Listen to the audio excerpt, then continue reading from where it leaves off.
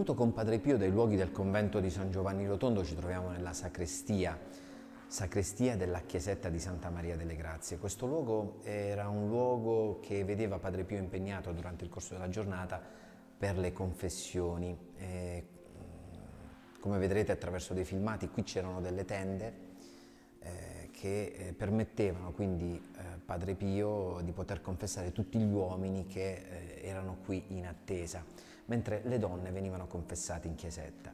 Noi siamo qui perché vogliamo raccontarvi attraverso questo libro di padre Eusebio Notte da Castelpetroso, che è stato assistente di Padre Pio per diversi anni negli anni 60, che ha raccolto tante testimonianze, tanti aneddoti in briciole di storia, eh, proprio nell'andare a puntualizzare eh, sulla confessione di Padre Pio un fatto eh, abbastanza interessante e che ci fa riflettere molto, ehm, perché Padre Pio, si chiede Padre Eusebio, è passato dalla storia come un confessore rigoroso, molto rigoroso, eh, perché appunto con facilità mandava via bruscamente le persone senza assoluzione.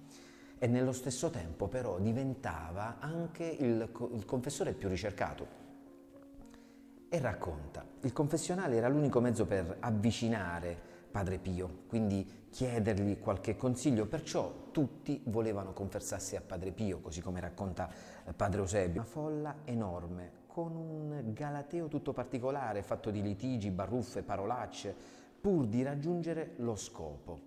All'accusa dei peccati e al pentimento delle colpe non ci pensava nessuno.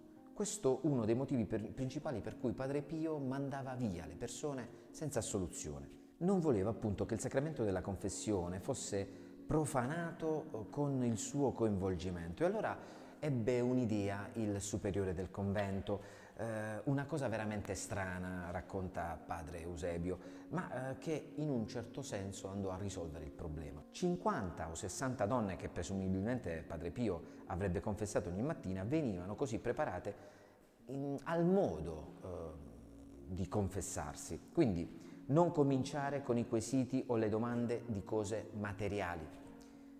Queste erano riservate alla fine della confessione.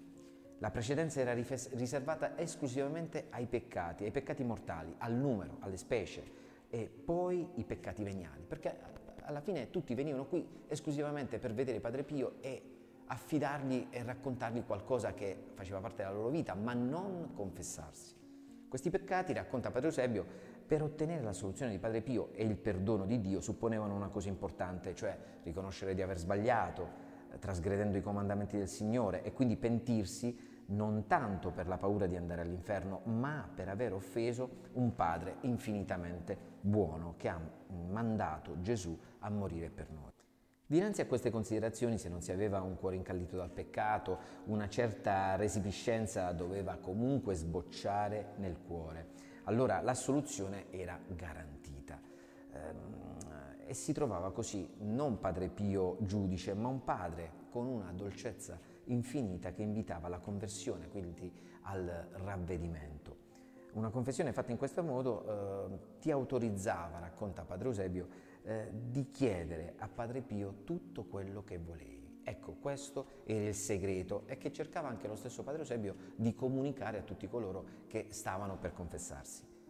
Se non venivano rispettate queste norme, o peggio ancora, se non c'era anche un certo pentimento, allora Padre Pio lo provocava eh, chiudendo lo sportello in faccia, così come era accaduto molte, molte volte senza troppa grazia.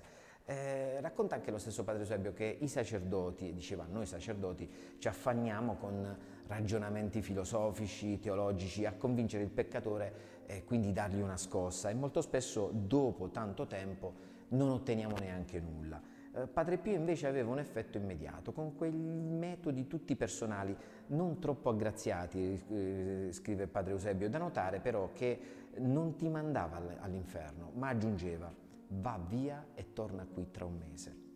Il ritorno e la conversione quindi erano sicuri, quindi, stando così le cose, Padre Pio non era quella persona sgorbutica che tanti hanno definito e tanti hanno scritto su tanti testi eh, e che si vorrebbe così far credere, ma era un vero e proprio padre, un padre che si preoccupava dei suoi figli. Figlio mio, convertiti, eh, sapessi quante, quanto sangue mi costi. Le mamme ad un figlio o una figlia che si ritirano alle ore piccole eh, o al mattino possono dire sapessi quante lacrime, quante preghiere mi costi. E Padre Pio poteva gridare quanto sangue mi costi.